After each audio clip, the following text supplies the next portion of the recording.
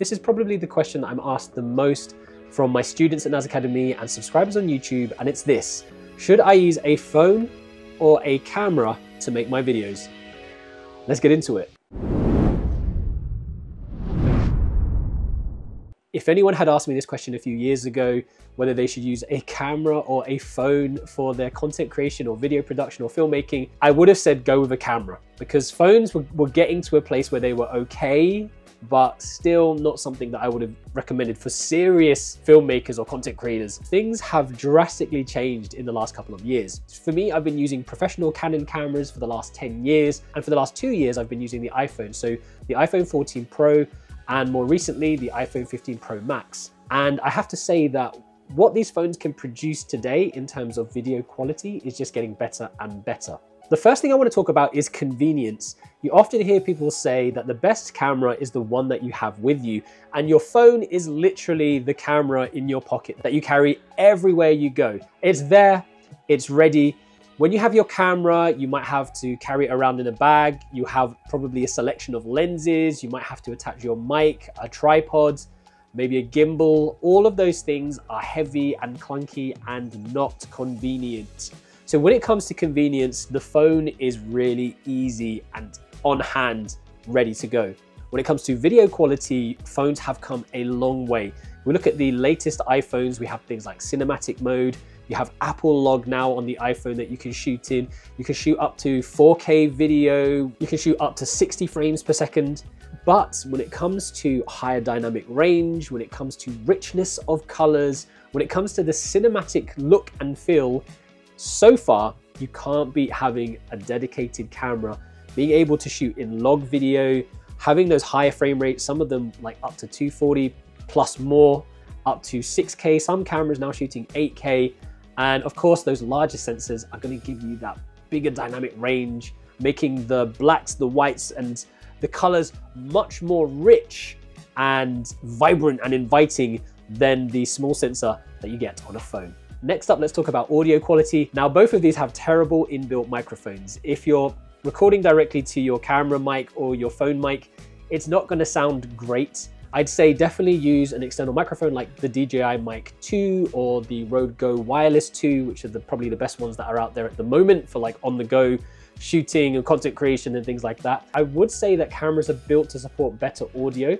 but I don't necessarily think that's true anymore because if you're filming a short film, a movie, or some sort of production, documentary, you're gonna have a separate mic that you will sound sync later in or mix in later. So that doesn't really make a difference in that kind of context. But nowadays your phone and your camera can both use mics like this. So I'd say that camera and phone audio is probably similar because of the advancement in audio technology. On phones, you can download apps that allow you to control the settings a little bit more like your aperture ISO and shutter speed. But of course, cameras are built for this. So the versatility of being able to control those settings for your picture quality, but also you have the ability to take off the lens and change it to something else entirely. So being able to put on better optics, giving you versatility for your shots, wide, zoom, prime, whatever you want, you can have that control over how your picture looks. Now, of course, phones do have more and more cameras on the back and you do have like a wide camera, you do have a zoom lens. Some of these cameras will take more advantage of the sensor than others. I know that the zoom and the wide have a reduced pixel count. They don't make use of the full sensor. And I know that they are getting better and better, but still in 2024, you can't beat having real lenses or real optics that you can change out on your camera. Another big factor in your decision-making process is going to be price. Now, this is one of the cheapest cameras you can buy, and I wouldn't recommend using this for video, actually. I'm just using this as just using this for demonstration purposes. You would probably want to invest in something a little more modern, like the newer Sony or Canon cameras that are gonna give you things like good autofocus, log functionality, higher frame rates, also shooting in 4K, maybe 6K, all of that doesn't come cheap. If you're looking at some of the more modern cameras, you're going to be parting with at least, at least $1,200, a £1,000 to get something. Now, your iPhone is probably gonna cost you just as much as the camera, but remember that the phone isn't just a camera. It is something that you take everywhere, something that you use for all the convenient things in your life and entertainment. But also another important factor is that you can edit on your phone. So with your camera, you'll need to film and then take the SD card out and then transfer it and then upload it. Maybe you might need to proxy it if you don't have a, powerful enough PC. There's, there's a whole process just to start editing. But with your phone, it's as simple as dropping your footage into something like CapCut or InShot or whatever you're using to edit with. You can also upload directly to social from here. So also it comes back to convenience. Filming, your editing, your uploading, your socials, it's all on your phone. So when it comes to price, you might be paying a similar price to the phone that you would pay for a decent camera, but the phone has so much more packed into it, making it even more value for money. So today is Naya's Nuggets of Knowledge. Excuse me one second, I've got to go. My planet needs me. Choose from. I have to choose from camera and phone. Yeah, how do you know that? I haven't even spoken yet. Um, because I remember you talking about it. What, this morning? Yeah. So this is a Canon 4000D Yeah. camera, and this is an iPhone 15 Pro Max. Yeah. Now, what I want you to do is pretend that this is a Canon R5. Do you know what that means? No. Excellent. This is a Canon R5 and this is an iPhone 15 Pro Max. What I want you to do is I want you to choose one to go and make a video with. Okay. You know what? I find phones more easier to use than cameras. So you would choose the phone Yes. to go make your video. Yes. Why is that?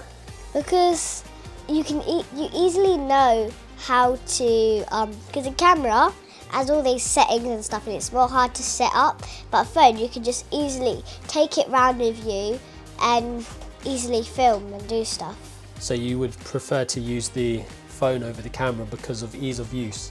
yeah And I think that is one thing that I haven't mentioned yet, and that is ease of use. Because Naya is eight, you're going to give her a high end camera, she won't be able to use it. And if you think about it, most people don't necessarily want to invest the time to learn how to use that camera, or they might want, if they so bought can it, I just go Hang on a second, hang on a second. We're still, I'm still discussing. This is a very important point. Ease of use is something that is going to affect whether you buy or use something or not. So you could buy a very expensive high-end camera, then not know how to use it in the manual settings, and then end up not using it. It just sits in a drawer. And I know quite a few content creators done that. When they have their phone with them, it's convenient, but it's also super easy to use. It's literally just point and shoot, right? And then you can make a video. But also, what else can you do on your phone that you can't do on your camera? You- oh you can add effects in Yeah, so you can edit it as well. to edit on the computer Computer. and that takes time Exactly, and you've got to learn software to do that as well. Yeah. And CapCut was really easy to use because you chose that in the last challenge to make a video, didn't you? yeah So it's a low barrier to entry for a lot of people who just want to start making videos. They don't have to really learn, it's very intuitive, and even our eight year old so test make subjects can make it. And here is the kicker we're not making a video, I just wanted to see which one you would choose. what right I'm taking your phone now Whoa, whoa, whoa, whoa.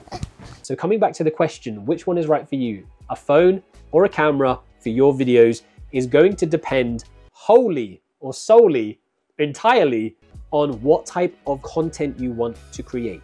If you are looking to make TikTok videos or nice Instagram reels, take some nice pictures that you're doing casually for social or even as a full-time business, but it's on those platforms, then you might want to consider getting yourself a decent phone and then maybe later investing in a camera.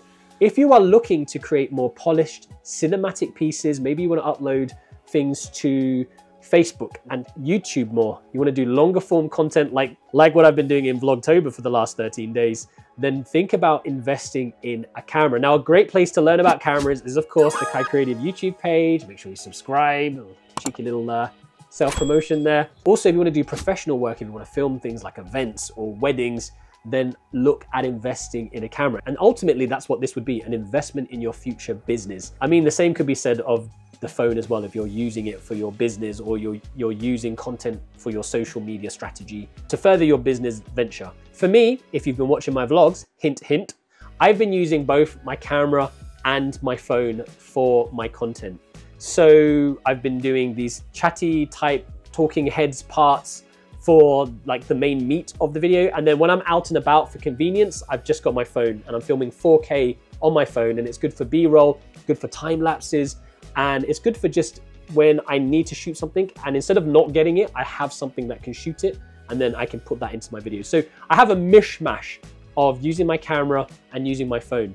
So ultimately what it comes down to is use the tools that you have readily available to you to tell the story that you want to tell. So that's the end of day 13 of Vlogtober. I hope you found today's content valuable. If you did, don't forget to drop us a like and also subscribe to the channel if you haven't done so already. Hit the little bell button for notifications. And yeah, with that said, guys, I will see you tomorrow.